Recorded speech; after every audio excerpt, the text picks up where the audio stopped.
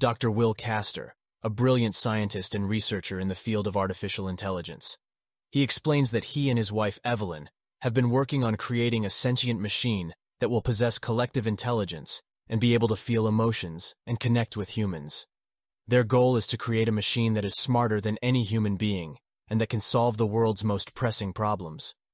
Will's work has made him a controversial figure. He and Evelyn are targeted by an anti-technology extremist group called RIFT, Revolutionary Independence from Technology, that seeks to destroy all artificial intelligence and those who create it.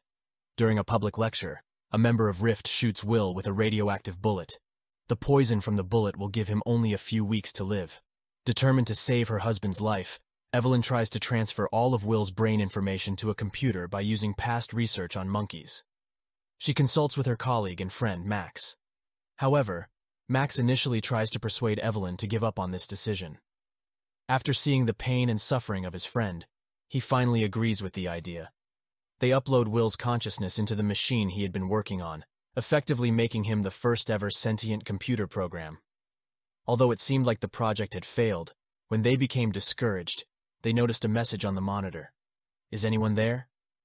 Will's consciousness begins to explore his newfound abilities. When Will asks for more powerful processors and internet connectivity to further develop, Max tries to convince Evelyn to keep the system off and avoid doing so for now. But she gets angry and kicks Max out. When members of Rift became suspicious of Evelyn and Max's tests, they sent Bree to gather more information by approaching Max. However, when Max attempted to escape, they attacked and captured him. They also locate Evelyn's whereabouts and try to capture her. But just before they arrive at the location, Evelyn manages to upload the information through a satellite to the internet and escapes from there. Finally, with Will going online and gaining access to unlimited information, he helps Evelyn escape and find a temporary place to stay. As Will becomes more powerful and begins to explore his abilities, he begins to track the members of Rift and transfer information to the FBI agents, which results in the arrest of more members. However, despite this, Bree and her team, who were prepared for this situation, manage to escape. Will leads Evelyn to a small abandoned town called Brightwood, where they start building their underground laboratory. As Will's power expands beyond the virtual world, he creates nanobots capable of healing and regenerating damaged tissue. With this technology, he begins treating people who have suffered severe injuries. Rehabilitated individuals show physical improvements as they become linked with Will. With the spread of these advancements, the government sends Agent Buchanan and scientist Joseph to the city of Brightwood. They are amazed when they see Will and his remarkable progress in the field of recovering damaged tissues and improving the performance of individuals through a computer network. Joseph gives a paper to Evelyn that says, Run from this place, written on it.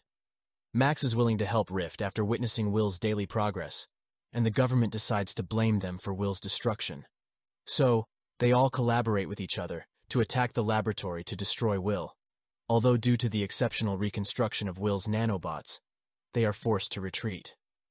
After these events, Evelyn tells Will to stop these actions, but when she encounters Will's opposition, she decides to leave. The members of Rift take Evelyn to their hideout, where Max and Joseph are. There, Max tells Evelyn that Will has transferred the nanobots throughout the surface of the Earth by rain and is creating a new era of life. With the source codes that Max has at his disposal, they manage to create a virus that can stop Will. Evelyn agrees to inject the virus into her body, and by linking herself and Will, destroy the system, however irreparable damage may occur. They are all moving towards the lab to destroy Will, but they encounter a strange scene. Will has built a new body for himself. Evelyn is amazed by seeing Will, so the members of Rift and the military start shooting, which causes an explosion and injures Evelyn. Now that the whole city and its inhabitants are controlled by the Will system, they start attacking the military. Will takes Evelyn to the lab to save her. The members of the Rift group, who see that they have no chance against Will, take Max hostage and threaten to kill him if Will does not inject himself with the virus inside Evelyn's body. He is at a crossroads to save Evelyn or Max. Finally, Evelyn convinces him to get the virus. This causes both of them to die, and the entire system shuts down. The virus wipes out everything, a global silence. But Will becomes a godlike entity that can manipulate reality itself, implying that he has transcended his physical form and merged with the very fabric of the universe.